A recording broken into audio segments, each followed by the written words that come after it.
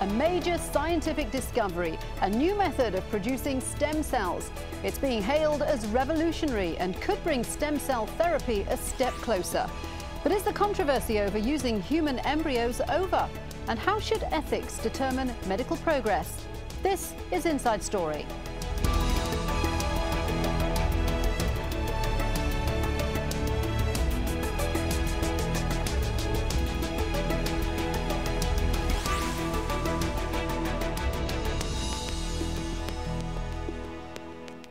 Hello there, welcome to the programme. I'm Shuli Ghosh. It's been described as a game-changing scientific breakthrough, a new way of creating stem cells that's much cheaper and faster than before. The technology could repair damaged or diseased organs and help cure, cure conditions like diabetes in future, and all without the controversy linked to the use of human embryos. Emma Hayward explains how it's done. This research, carried out by scientists in Japan, is being viewed as a breakthrough because it could hail a new era of personalised medicine, offering hope to sufferers of diseases such as Parkinson's, diabetes and spinal cord injuries. So how did they do it? Well, blood cells were bathed in a weak acidic solution for half an hour. The solution made the adult cells shrink and go back to their embryonic stem cell state. What makes stem cells unique is that they can become different types of cells in the body. Using this process of patients' own specially created stem cells could potentially then be re-injected back into the body to help mend damaged organs. One scientist told us this could be a major breakthrough. It enables scientists for the first time to quickly and cheaply reprogram adult cells back to a pluripotent stem cell-like state. By pluripotent, we mean these are cells that can make every single cell type of the human body, and these are vital if we're going to produce therapies in the future. The scientists in Japan used mice in this experiment, but believe the approach may also work on human cells too. If it does, it would potentially make the creation of stem cells faster and eliminate some of the ethical questions often associated with this type of science. Okay, so lots to discuss. Let me introduce today's guests. They're all in London. Dusko Ilic, reader in stem cell science at King's College London School of Medicine.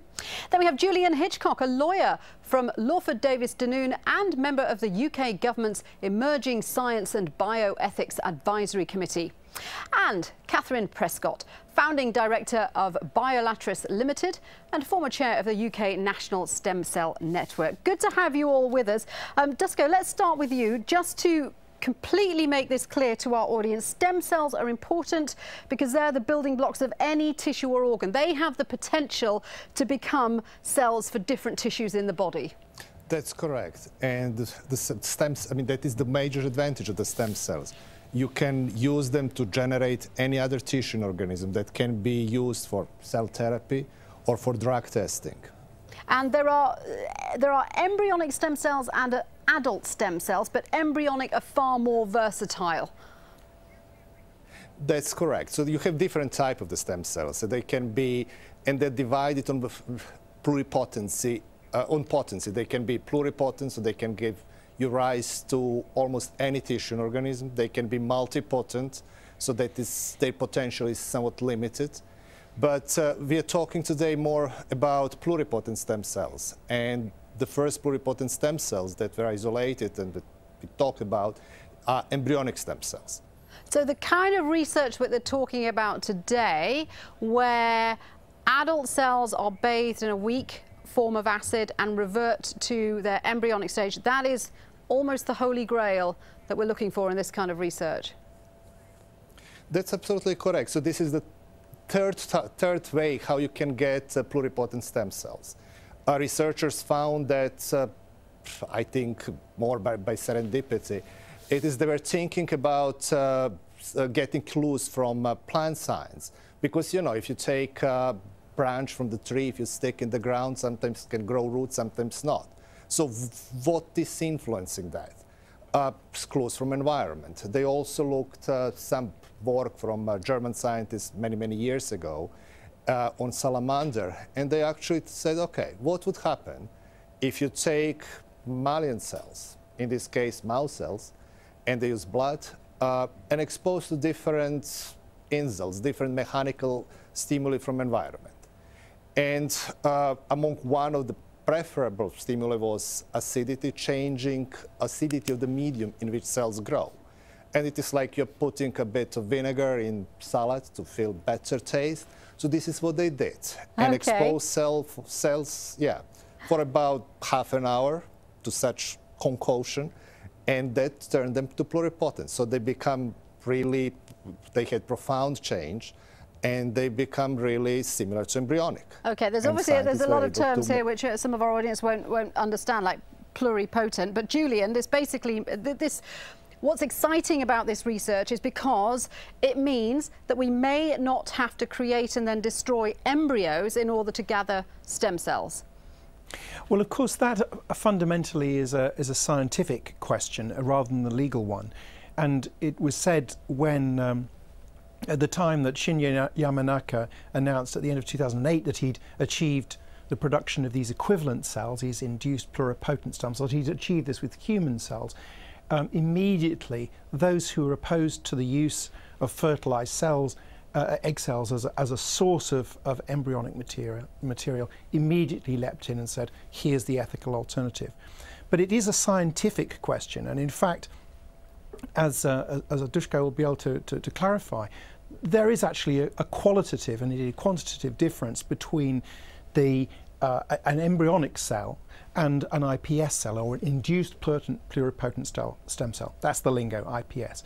Um, so if you, so I feel like a question of principle arises. If you were to use, if you were to say, let's not use the embryos, as they're termed, if we aren't to use those, we'll go ahead and we'll use the uh, Yamanaka type cell, the, the sort that, that Dusko has described, or the, the, uh, the, the new sort, that, which have just been derived using uh, acid stress. Um, if you were just to use those, how would you know that it was equivalent? You have to have the benchmark at any rate. You've got to have that.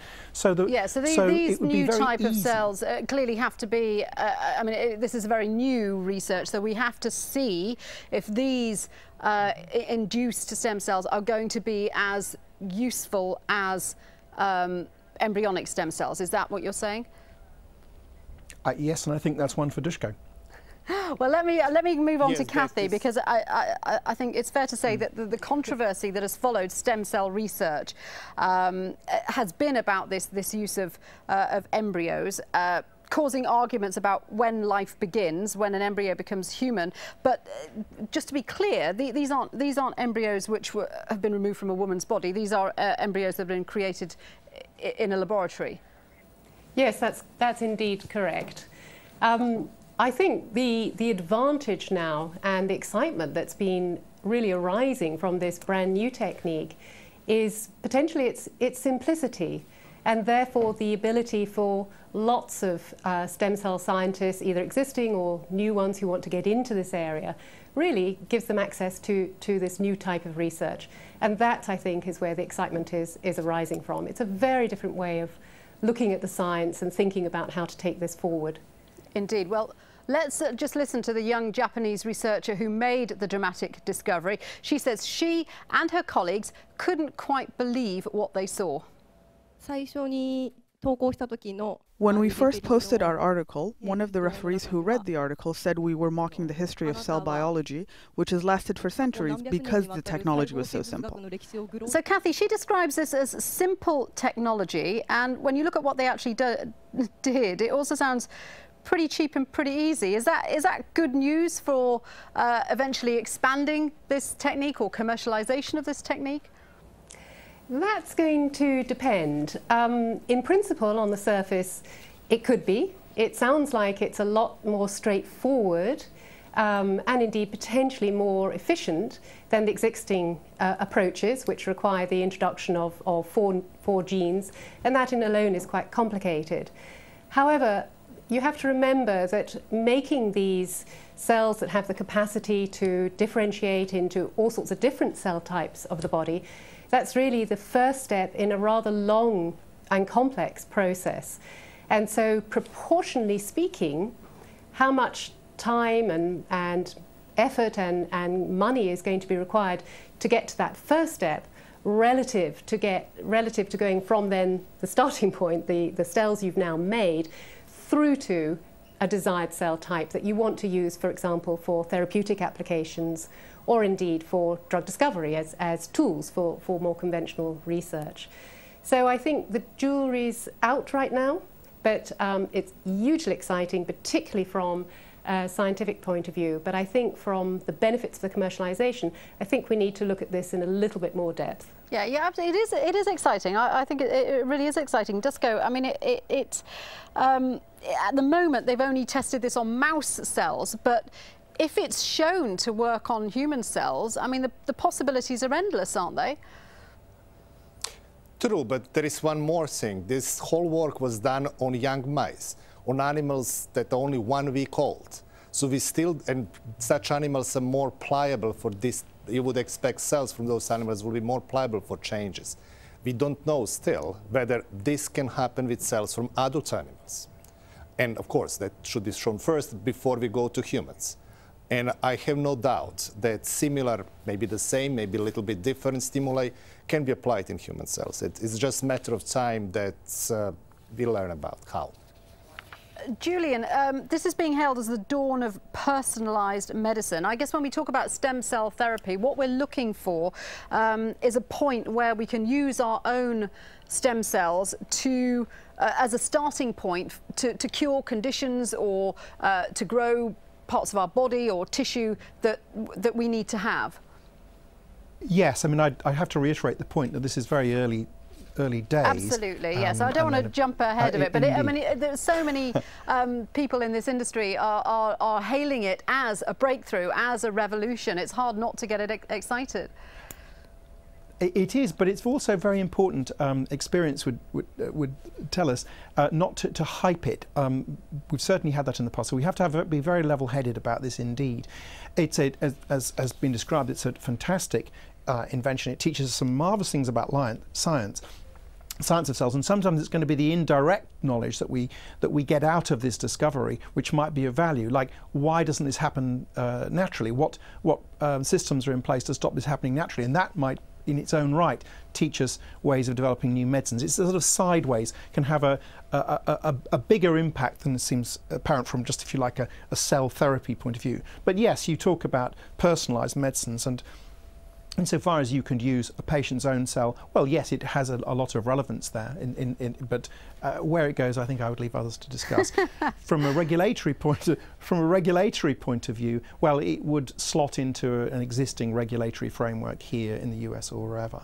Um, uh, but uh, and I have to say that the, the the path to market, if you were to use uh, such a cell, if you were just to squeeze lemon juice on it, um, I'm afraid that that would still uh, account to a, to a substantial manipulation, and well, I mean, it would have to be regulated. It's an interesting thing because uh, so uh, if it really is an acid as weak as lemon juice, I was reading one article that said, uh, you know, how come it doesn't happen when you, you you spill lemon juice on your own skin? Well, I think that's a, a, a, very important question. And in fact, in her paper, uh, Obokata actually, in, in, her discussion section, she refers to this, I think, and uh, particularly to the example of esophage oh, sorry, esophageal reflux. In other words, uh, um, the acid that might that from, sort of from acid um, indigestion almost the stomach. Yes. Precisely, and the effect, and that, and it isn't found. So, so it, you might expect it to arise naturally in the esophagus and it doesn't. So it begs a question, it's a technical question about why. And so one of the markers, one of the we call the markers, that it's like a fingerprint of a cell uh, called OCT4. That that that is apparent. That's something which which we see in in embryonic cells, and in fact, of course, relevant to these other cells we've talked about that, that Yamanaka. Uh, developed. But funnily enough, another um, very important marker doesn't appear called NANOG. Um, and so it is telling us something about, about uh, or it's inferring some new questions as to why doesn't this normally uh, occur. And so it, it, suggests an, uh, opening a door on discovering a whole new world of, of control systems. But I you know, would say from the point of view of uh, the law, the, the position remains the same. From behind the law, the way law is driven, no doubt uh, this, will, this may help to um, open up discussions about the sort of determining factors that have, have tended to, to prompt um, considerations uh, of potency. So, for example, in the world of, of patents um, in, in Europe, uh, the position has been reached whereby uh, currently um, you can't get an, a, a patent on an invention which is derived from a quotes embryo. But the but I say quotes embryo because embryo is defined as something which is capable of beginning the process of development. And so there are issues there um, okay, well, let, let me bring in Kathy because in you, have got some experience of, of, of, patents and how the uh, industry expands. Uh, you know, is this regenerative medicine, is it within reach of uh, all patients, poor as well as rich? I mean, uh, who foots the bill for, the, for this kind of research and how does it become available to us all? This is an enormously important question and it's one I think we're still trying to fathom, out, uh, fathom ourselves. So we know, um, if you look at, there's a recent report that was published towards, uh, I think, the end of last year from out of the US from the Alliance for Regenerative Medicine, and there they point out that over a billion dollars has been poured into regenerative medicine research, or over a billion dollars, in fact.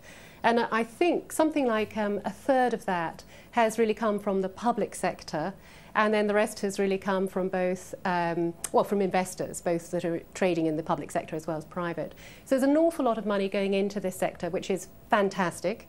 I would say that more is going to be required. But key to this is really can we generate affordable medicines from, um, from derived from stem cells, from, from uh, as cellular therapies?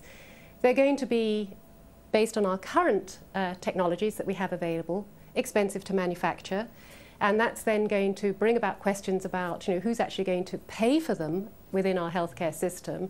And if there's going to be a huge demand for them, for example, if these are really now um, the potential solution for treating chronic diseases, there should be this huge demand for them. But of course, that could potentially sort of bankrupt um, a healthcare system.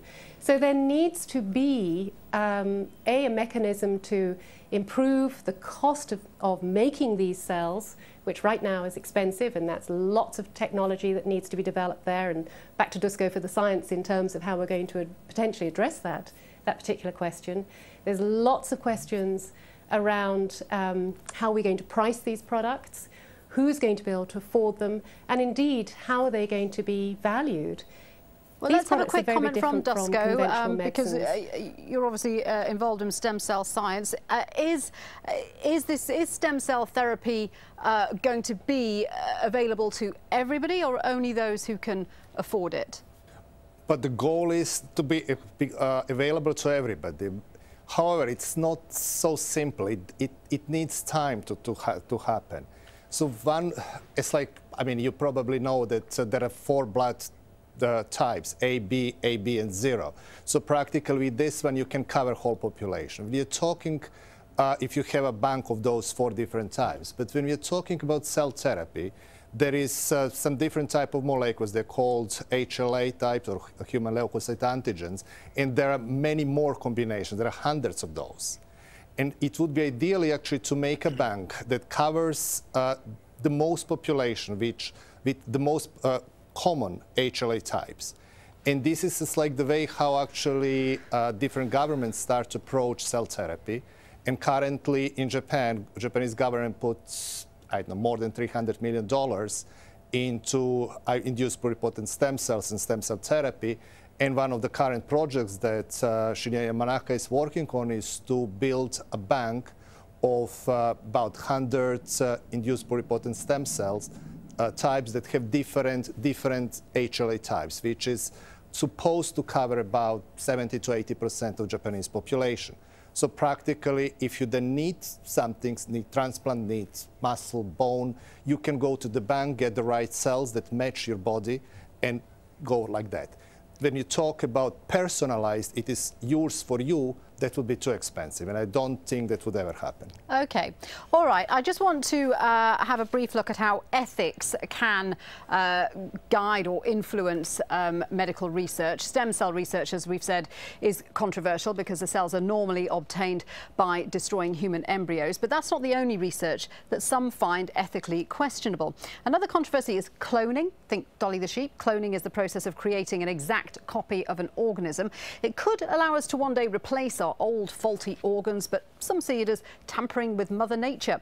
Genetic engineering is another field which could eradicate birth defects and hereditary conditions, but it has led to fears of designer babies and superhumans.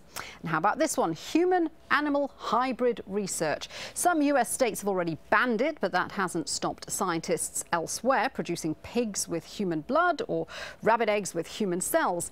And finally, several scientists have been experimenting with the bird flu virus, creating super strains which are more contagious and deadly than anything in nature.